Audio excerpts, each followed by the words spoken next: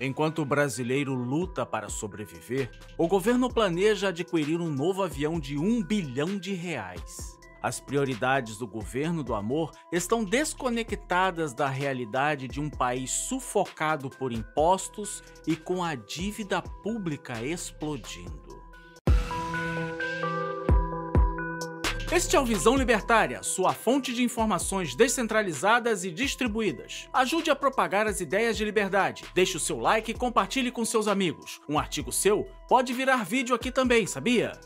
Este artigo foi escrito por Akita Underline Ben, revisado por historiador libertário e será narrado por mim, Djalma Guedes. O governo brasileiro enfrenta um dilema adquirir um novo avião presidencial ao custo de 250 milhões de dólares, o que dá 1,45 bilhão de reais, ou manter o discurso de austeridade em tempos de dificuldades fiscais. Com a pressão crescente de problemas técnicos da atual aeronave, o Airbus A319CJ, popularmente conhecido como Aerolula, o presidente petista e a primeira-dama Janja defendem a necessidade de um avião mais moderno e eficiente. No entanto, a magnitude do investimento contrasta fortemente com a situação econômica do país e a realidade da classe trabalhadora que eles tanto dizem representar. Segundo dados do Banco Central, o déficit primário do setor público consolidado chegou a 2,15% do PIB nos últimos 12 meses encerrados em setembro. Esse índice aponta para um descontrole fiscal alarmante, com o governo federal sendo o maior responsável. Enquanto isso, cidadãos brasileiros lidam diariamente com serviços públicos de péssima qualidade, infraestrutura precária, dólar nas alturas e a taxa de juros alta para conter o tamanho da inflação que está por vir. A proposta de gastar mais de 1,4 bilhão em um novo avião presidencial surge em um momento em que cortes de gastos são considerados necessários para equilibrar as contas públicas. Por outro lado, a defesa do novo avião é justificada como uma questão de segurança institucional. Mas será que o alto custo desse projeto é compatível com a realidade fiscal e social do país? Janja, a primeira-dama, que tem atuado como a vice-presidente do país, foi uma das vozes mais enfáticas na defesa do novo avião, argumentando que a substituição do Aerolula não é sobre luxo, mas sim segurança e eficiência. Foi pedido neste novo avião comodidades como internet de alta velocidade, quarto de casal e sala de reuniões, elementos que vão além de simples segurança e eficiência, o que deixa o argumento da mulher do Lula pouco convincente. A primeira-dama é muito conhecida por ser ostentadora e deslumbrada, pois adora ostentar e exibir calçados e bolsas caras que custam o valor que um trabalhador humilde humilde ganha durante o ano inteiro. É importante diferenciar o que constitui um investimento necessário para a segurança do chefe de Estado e o que pode ser interpretado como um luxo desnecessário. A demanda por um avião que inclua banheiro com chuveiro e quarto de casal, embora compreensível do ponto de vista de conforto, suscita questionamentos quando considerada frente ao custo altíssimo. A Força Aérea Brasileira apresentou duas opções principais. Opção 1: avião usado, fabricado em 2016 já configurado de forma próxima ao que é requisitado, com entrega rápida, mas necessitando de ajustes. Opção 2: avião novo, produzido sob encomenda com entrega em até dois anos. Ambas as opções custam o mesmo, mas a primeira parece menos dispendiosa em termos de tempo e adaptação. A aprovação de um gasto dessa magnitude, embora em um momento de déficit fiscal, evidencia as prioridades do governo, mordomia e privilégios. A compra de um avião presidencial, mesmo que justificada por razões de segurança, carrega um simbolismo poderoso, refletindo a forma como os líderes gerenciam os recursos públicos muitas vezes com descaso. O que a liderança petista faz dia após dia é desrespeitar o pagador de impostos e a população de baixa renda que enfrenta o aumento do preço da carne e da energia. O argumento de que o avião atual não atende mais às necessidades não pode ser ignorado, mas também é fundamental questionar se uma alternativa menos onerosa poderia ser explorada. Por exemplo, uma opção como a adaptação do Airbus A330-200, comprado no governo Bolsonaro, foi descartada devido a custos adicionais para ajustes. Será que essas adaptações seriam realmente mais caras do que comprar um novo avião? Ou a vaidade do Lula e da Janja é grande demais? O debate sobre o novo avião não ocorre em um vácuo. Ele é acompanhado atentamente pela população, já que sente o peso de uma economia estagnada e de cortes em áreas essenciais, incluindo programas assistenciais como o Bolsa Família. A percepção pública sobre o gasto pode reforçar a ideia de desconexão entre o governo e as necessidades reais do povo, especialmente em um momento em que universidades estão tendo a energia cortada por falta de pagamento. Essa mesma comunidade das universidades públicas que apoiou o governo com entusiasmo agora enfrenta as consequências de uma gestão irresponsável e gastadora. O problema da esquerda política continua sendo o mesmo. Achar que dinheiro dá em árvore e que o governo tem recursos infinitos para torrar, que nunca teremos problemas quanto a isso. O governo pode até criar dinheiro novo e falsificado via operações do Banco Central, mas isso irá gerar inflação, o que vai causar o empobrecimento geral da sociedade. Toda ação idiota tem uma consequência nefasta. Quando um presidente e sua equipe defendem um investimento de 1,45 bilhão em meio a dificuldades fiscais, o risco de transmitir a imagem de privilégios políticos é significativo.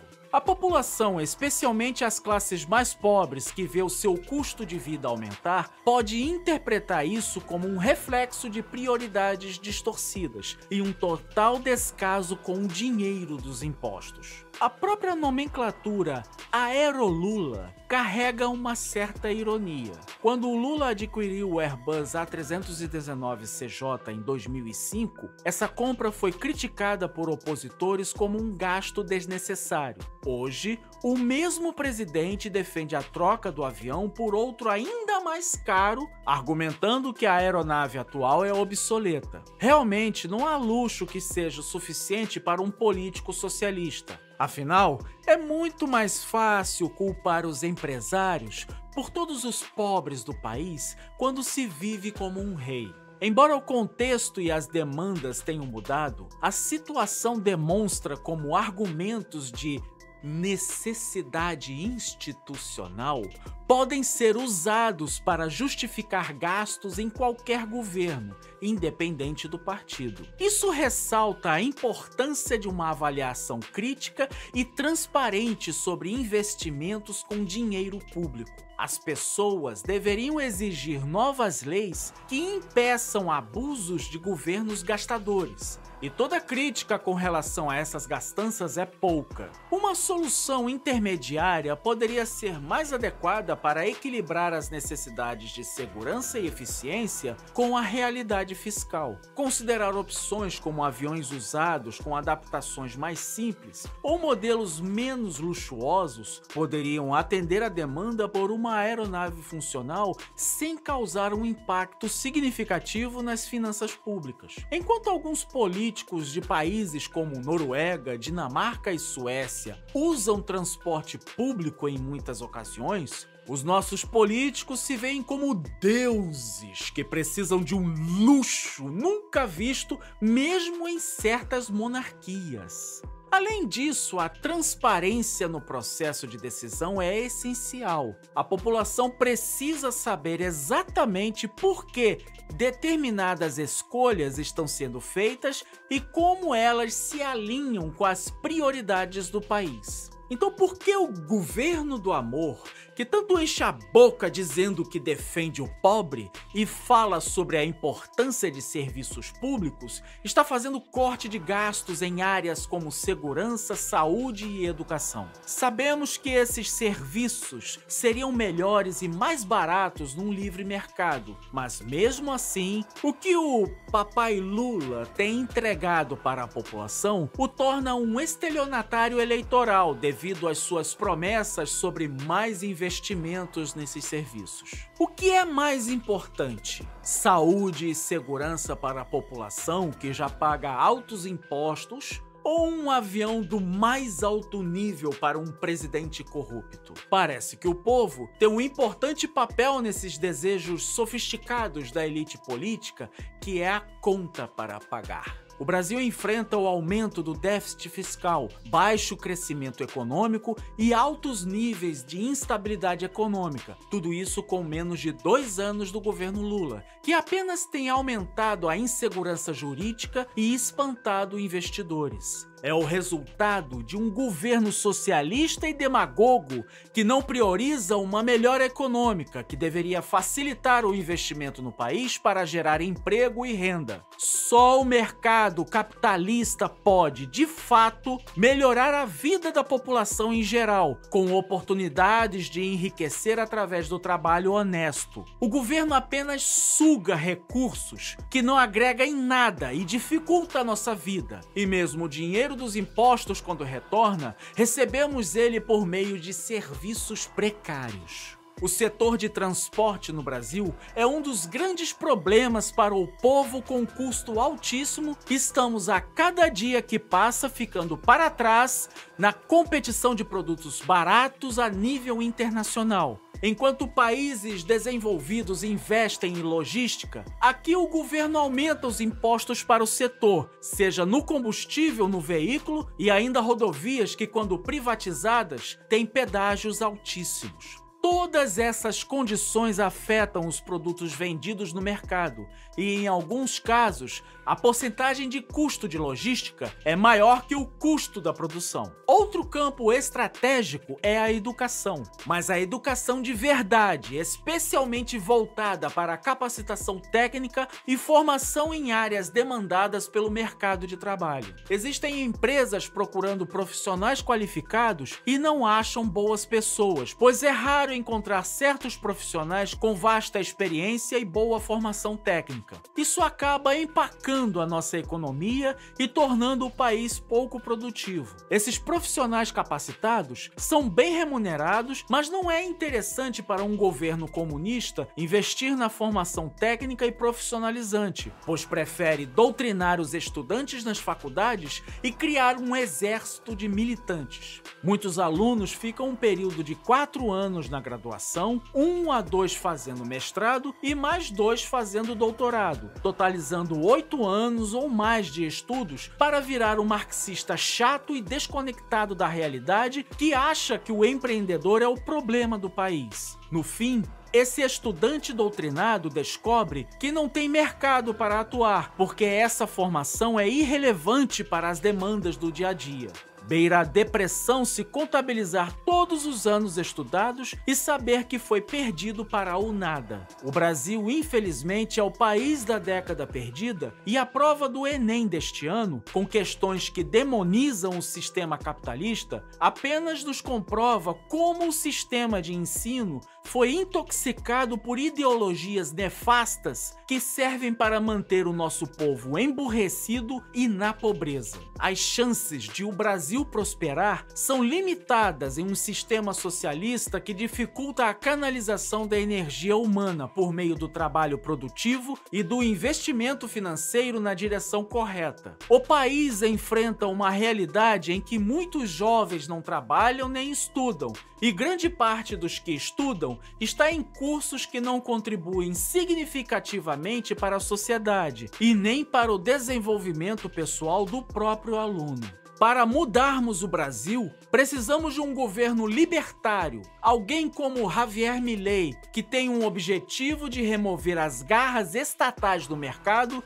e liberar toda a energia que o povo que hoje está sendo destinada a sustentar privilégios, altos salários e diversas mordomias, além de gastos inúteis. A mídia, o governo e o próprio povo têm que parar com essa romantização da pobreza pobreza, que foi muito normalizada no nosso país, e entendermos que o ser humano quer e merece o melhor. As pessoas estão cansadas de depender de assistencialismo barato e de serviços públicos precários. Muitos estão vendo como somente o empreendedorismo e a educação financeira podem romper essa barreira de pobreza e nos tornar mais independentes do governo e, consequentemente, mais livres. Eu não sei se esse dia vai chegar tão cedo, mas devemos lutar essa importante batalha divulgando a verdade cobrando dos políticos, desmentindo a esquerda e denunciando os erros e corrupções dessa elite que não presta. A direita vem forte e continua crescendo. Somos de fato contra o status quo e contra esse sistema que há séculos tem escravizado toda a humanidade. O futuro com certeza é libertário e só nos resta saber quando esse sistema podre e carcomido vai desmoronar como um castelo de cartas. Obrigado pela audiência. Esse é um canal colaborativo. Participe você também. Cadastre-se agora mesmo no nosso site visãolibertaria.com e envie seus artigos por lá. Nossos colaboradores recebem recompensas em Bitcoin. Inscreva-se no canal e clique no botão da campainha para ser avisado de novos vídeos. Até a próxima e viva a liberdade!